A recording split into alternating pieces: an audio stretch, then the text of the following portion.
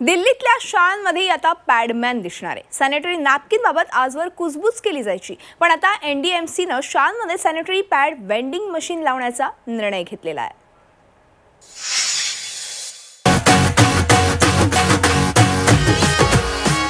चित्रपट समाजाचा आरसा असतो असं म्हणतात.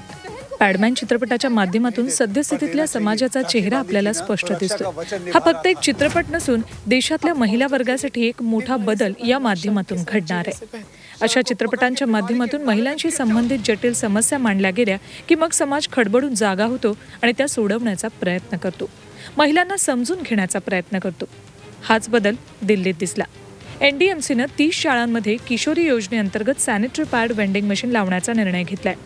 त्यामुळे गरजेच्या वेळी विना अडथळा त्यांना पॅड मिळणार आहेत. जब हम लोग बच्चों को खुद मोटिवेट करेंगे कि उनके टॉयलेट में सैनिटरी वेंडिंग मशीन लगाएँगे और एक उनको सेफ़ डिस्पोजल के लिए एक हम इंसिनरेशन प्लांट लगाएँगे सो दैट उसका ये सेफ़ डिस्पोजल हो। एनडीएमसी शाळांमध्ये शिकणाऱ्या सुमारे पाच हज़ार मुलींना याचा फ़ायदा होणार आहे. या वेंडिंग मशीनचा वार्षिक खर्च पंचवीस लाखांच्या आसपास आहे.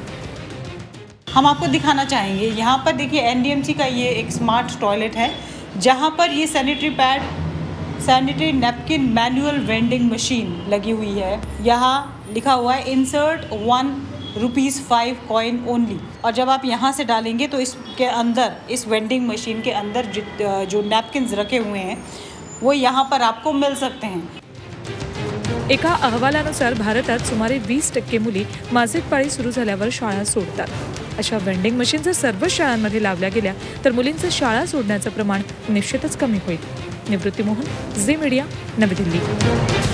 झी चोवीस तास रहा एक पाऊल पुढे.